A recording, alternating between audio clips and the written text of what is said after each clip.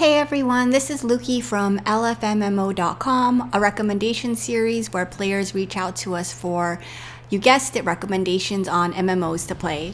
Uh, these players may be unhappy with their current MMOs, so we offer up new games for them to try based on their criteria.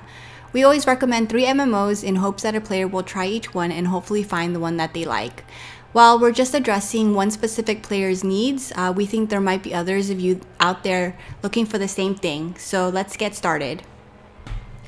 First off, we have Kamilune who has been playing MMOs for the past three years. Kamilune writes, I am looking for a new MMO RPG to play. Ideally, it would be fantasy or anime themed. I previously played World of Warcraft. That was my first and only MMO RPG I have played.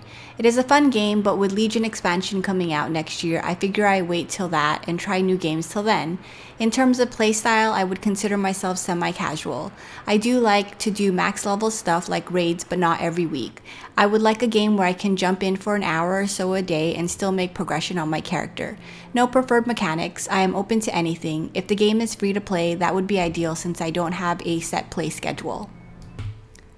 Okay, Kamilune, after reading your criteria, the first game I will recommend off the bat is WildStar. WildStar fits your fantasy themed requirement, even though it leans a little more towards sci fi fantasy, uh, which, in my opinion, is still a great theme. Uh, the game is an open world MMORPG, which you were looking for, and there's a good number of people playing this game right now as it just turned free to play. Another plus for a semi casual player like yourself. Since the only MMORPG game you've played is World of Warcraft, it would be easy for you to jump right into WildStar as the setup is pretty similar. There is the good side, known as the Exile, and then the bad, known as the Dominion. There are six classes in the game uh, Warrior, Engineer, Spellslinger, which was my class, Esper, Stalker, and Medic. Although different names, each class could be easily correlated to a class in WoW. A Spellslinger is similar to a Mage, which is of course what I played, while a Stalker can be likened to a Rogue. While this game is similar to WoW, I think once you start playing, you'll notice some differences and unique aspects to this game other differences are the movement and combat mechanics, which make the game interesting. You can double jump, sprint, and dash, uh, which was really important in combat. Um, in combat in WildStar, it's focused around telegraphs. Uh, you can think of telegraphs as zones that are displayed on the ground. Red zones are obviously bad and you should avoid them or you get damaged, while the green zones are usually good and are healing spells from your allies. Each player can also have a plot of land where they can build and customize their own home. I'm a big collector, so many of my favorite things was trying to find unique items to place on my land. Items can range from simple things like decor to more useful items like gardens where you can farm materials. There were also some items that were sort of mini games, which I really loved. Uh, you can play them and receive a reward if you complete it. Throughout your time in WildStar, you can be questing, uh, doing dungeons with friends, uh, PvPing against other players, or visiting other people's homes. Overall, WildStar could be a solid choice as it offers all the things that you are looking for. My second recommendation is Final Fantasy XIV A Realm Reborn. This is another great MMORPG, but I first wanted to call out the fact that I would not consider this game to be casual friendly. But since you mentioned you are looking for something semi casual, I still thought that this would be a good fit. Questing and traveling through zones isn't as simple and straightforward like in World of Warcraft, and it does require a little bit more thinking.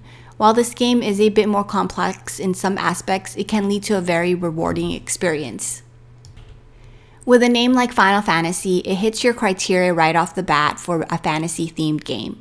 Final Fantasy XIV also went through a relaunch in 2013, and I personally think the changes they made and the things they worked on have made this a solid MMO. Square Enix listened to their players and were able to craft an MMO worth playing. With this relaunch and their shift to free to play, the player base has seen a significant amount of growth.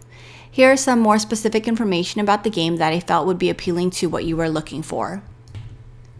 Classes are broken up into four disciplines War, Magic, Hand, and Land. Your character can be any class as long as they are wielding a specific weapon. So if you want to play another class, just change your weapon. This is great if you are interested in only focusing on one character but are interested in trying out a wide range of classes. Partying with allies is a little bit more fun in Final Fantasy XIV. Strategy and teamwork is different but very important in this game.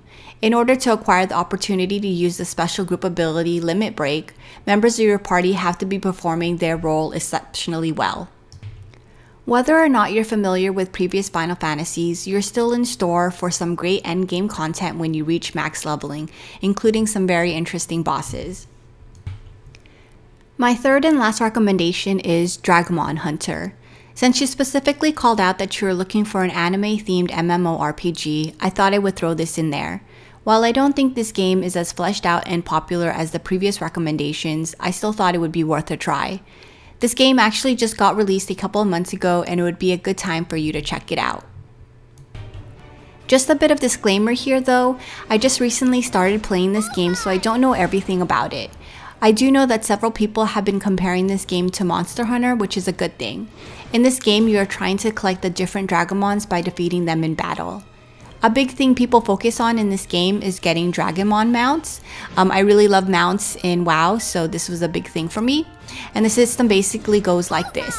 You kill a Dragomon and it has a chance to drop regular items and gear, and sometimes it will spawn an egg or a chest after it's dead.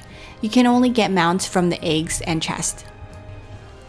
Even if an egg or chest spawns, it's not 100% guaranteed that you'll receive a mount. The three things you get from the or chest is a trophy or an accessory, a one day mount of that monster that you killed, or a permanent mount of the monster you killed. There are four classes that you can choose from Cleric, Mage, Mercenary, and Scout. No matter what class you play, you are accompanied by a Hopalong.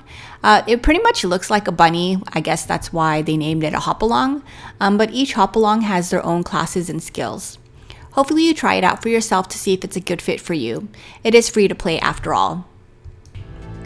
So those are my three recommendations, Wildstar, Final Fantasy XIV A Realm Reborn, and Dragomon Hunter. Hopefully you try them out and find the one that best fits you. Until next time.